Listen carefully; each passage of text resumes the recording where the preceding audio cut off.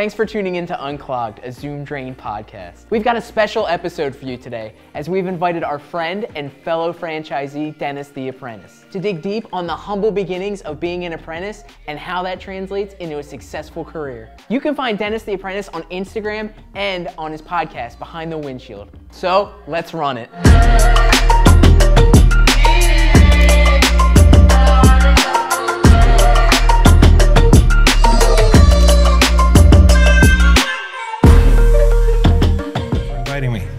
Got it. So, uh, Dennis the Apprentice, what I do is I try to share soft skills rather than let guys go into an apprenticeship and learn by hard knocks. I mean, there's some of that, but I like to avoid the hard knocks by teaching those soft skills so they can uh, have a great apprenticeship, right? And learn faster. Mm-hmm. That's a great skill to have. So, I'd love to hear about your apprenticeship. How did you find plumbing? Okay, how I found plumbing. Well, when I was young, I had an uncle that was a licensed plumber, so I got enslaved at an early age Okay. and encouraged to go to work with him all the time. So that's Yeah. kind of how I got into it. What age? Uh, I guess I first started going out on plumbing jobs with him when I was maybe 10 years old, somewhere along That's there. child, isn't that? That's a bad word now. Child labor. child labor. You know, when you're 10 and you're just going to get stuff off the truck for your uncle, it's really not work. It's, It's fun. fun. Oh, yeah, totally. But, you know, as, as you progress from uh, going to getting parts to digging ditches, then the, the fun kind of went away. Yeah, yeah, I hear you. What did you make an hour? I think, well, when I was 10, I got a free lunch. Awesome. Yeah. but, but, you know, as time went on by, I guess I got up to, I don't know, three, four, five, six dollars an hour. I progressed right up the uh, wage chain. Yeah. to massive wealth. Yeah. And uh, that's kind of how it went. And then I went out, out of the plumbing business and, and uh, into the air conditioning business for a while. And now I do plumbing again. Very cool. So, uh, do you have a mentor? Was there someone in particular that really affected your life and your career? You know, I've, I've been very lucky in my life with people that I've met. You know, and, and as I went through my my career on the plumbing side, you know, my uncle was my mentor, but he was an old school plumber. You know, he had a forearm on him like Popeye, and it looked like his knuckles were covered with leather because he liked packing and pouring joints. He liked to do everything the old way. Right. But with that being said, he taught me a lot of really good technical skills. So then when I moved further into another industry, I found out that if I would go up to somebody who most people consider unapproachable but fairly high profile and talk to them, they would help me.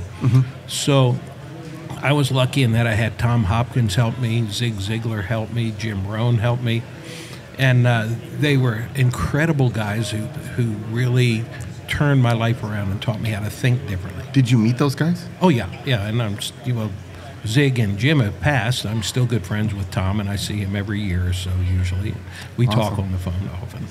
Jim was my. Uh, I actually memorized one of his "How to Have a Better Year" Uh-huh. lectures. I memorized it, and I adopted him like my grandfather. Uh huh. And so I saw him twice, and he died on my birthday actually. That's terrible. But So- he was an amazing man. And, uh, you know, he wasn't Yeah. the most well known speaker on the circuit, but he positively had the best message. He was Oh, one of the smartest men I've ever met in my life. Oh yeah. It, he said all the time he'd talk and talk and talk, and then he'd say, "If you're interested." Uh huh. Remember that? Yeah. And I think that's true in apprenticeships. How, how do you know when an apprentice is interested versus like, is this kid going to get it or maybe made a bad choice here? Like, what, what's a kid do to show he's Well, interested? Today, I judge whether a guy is interested by whether he puts his damn cell phone down while I'm talking.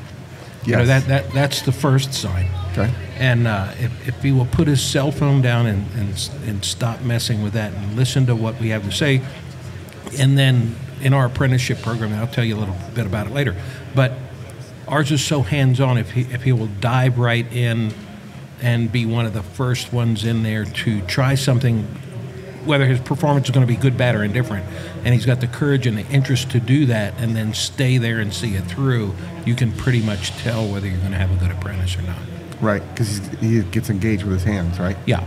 Yeah. Yeah, so that's that's what we're really looking for in our programs. Very good. So tell me about your program. Okay, for the past, I guess, 28 years, we've been doing what we call an air conditioning fast track program.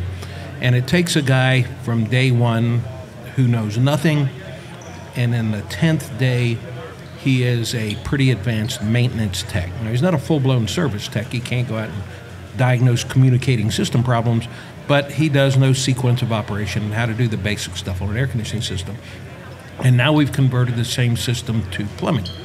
So we can take a guy who's got some mechanical aptitude, doesn't really know anything, and we have a 10 day program in which he learns to install fixtures, change toilets, change water heaters, do minor plumbing repairs that will make him a valuable apprentice. Mm-hmm. You know, I, I, talk to a lot of people in our industry, and whether it's in the US or Australia, I do a lot of work in Australia, we seem to have about a 75% fallout rate on our apprenticeships. And as I, I ask them why, you know, why are you quitting? What's going on? He says, well, I'm not making any money. But if we, we follow some of the apprentice programs, what they're doing is they're taking the guy and putting him with an experienced plumber who doesn't really want to take the time to teach him stuff. So his first two years are, hey, go get my cigarettes off the dash or they tell him stuff like, "Get me a left-handed pipe wrench," you know, right, it, right. just to screw with him. So because he's he's not worth very much per hour, they tend to fall out. Our program is different in that when he comes out, he can actually do something. You know, like I said, he can change the fixture, he can fix minor leaks, he can unblock a, a minor uh, drain blockage under a sink, he can change a water heater, he can change a disposal, and he can do a plumbing inspection of the house while the plumber that he's riding with is out there doing the hard part and then come back and say, hey, here's what I found.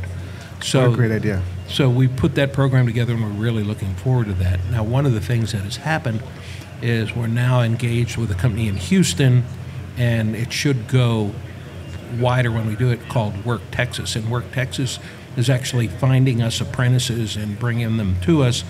And we find the plumbing companies and we put them together with the, with the apprentices in Work Texas.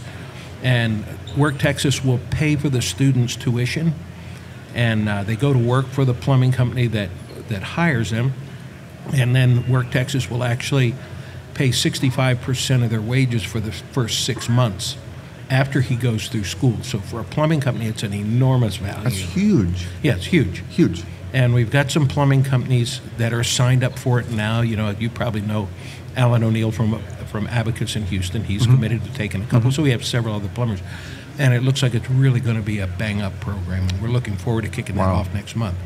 We need more states to do that. Well, we plan on scaling it throughout Texas. Once we make it work in Texas, I think we can make it work nationwide, and I'm really looking forward to making that happen. Wow, very cool. So, what do you get out of uh, training? what do I get out of training? You know, my wife kind of asks me that all the time. You know, I've, I've been very lucky in my career with what I've done in that we're okay. Uh, I mean, we're not immensely wealthy, but we're okay. Mm-hmm. And she keeps telling me, you know, Joe, why do you do this? You could come home and not do anything anymore. And I told her there's a few things that bother me about our industries. And uh, the, the three primary things that bother me about our industry is, you know, I'll be uh, doing a training session and one guy will come in late.